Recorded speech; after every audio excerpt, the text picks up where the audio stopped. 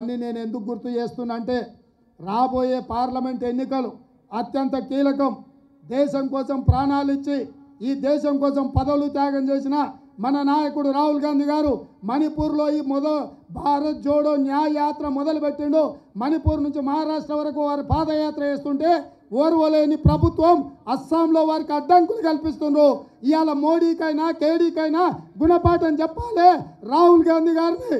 ఈ దేశానికి ప్రధానమంత్రిని చెయ్యాలి. చెయ్యడానికి మీరు సిద్ధమా? రాహుల్ గాంధీ గారిని ప్రధానమంత్రిని చేయడానికి మీరు సిద్ధమా?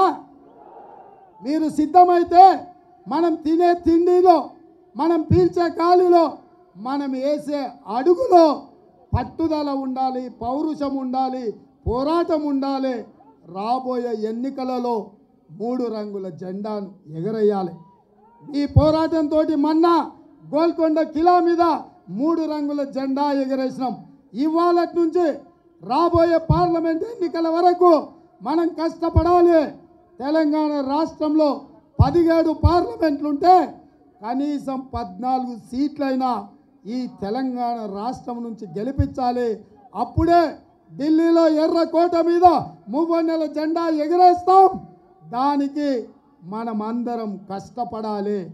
మనం కష్టపడాలి అని అంటే మనం అందరం కలిసి పని చేయాలి ఇంతకుముందు కేసీ వేణుగోపాల్ గారు అంటుండ్రు ప్రభుత్వం వచ్చినాక కార్యకర్తలు ఎందుకో చల్లగా ఉన్నారా ఇంట్లో వండుకుంటూరు ఏంది నీ సంగతి అని.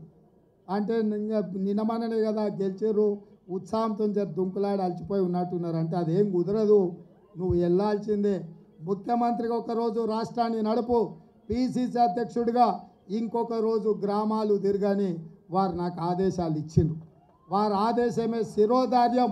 వారి ఆదేశాలను తీసుకొని బయలుదేరుతున్న ప్రతి వారంలో రోజు ఇడ్చి రోజు మీ జిల్లా పర్యటనలు వస్తా పదిహేడు పార్లమెంట్లలో సమావేశాలు పెడతా వారంలో మూడు రోజులు మళ్ళీ మీ రేవంతన్నగా మీ మధ్యకు వస్తా మీతో ఉంటా మీతో కలిసి నిలబడతా మీతో కలిసి కొట్లాడతా.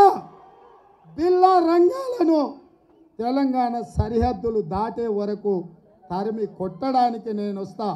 మొన్నటి ఎన్నికల్లో ఓడించినాం ఈ ఎన్నికల్లో తెలంగాణ సరిహద్దులు దాటే వరకు తరుముతాం. ఈ కార్యక్రమాన్ని వచ్చే వారం నుంచి ఇంద్రవల్లిలో మొదలుపెట్టి వేదిక మీద ఉన్న నాయకులందరికీ ఆదేశాలు ఇస్తున్నా. కిందున్న కార్యకర్త